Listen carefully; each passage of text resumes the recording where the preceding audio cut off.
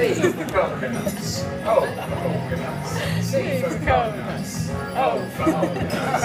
N for nuts and U for nuts. T for... Esther, I'm sorry for that logo. That was really not enjoying it. Here we go.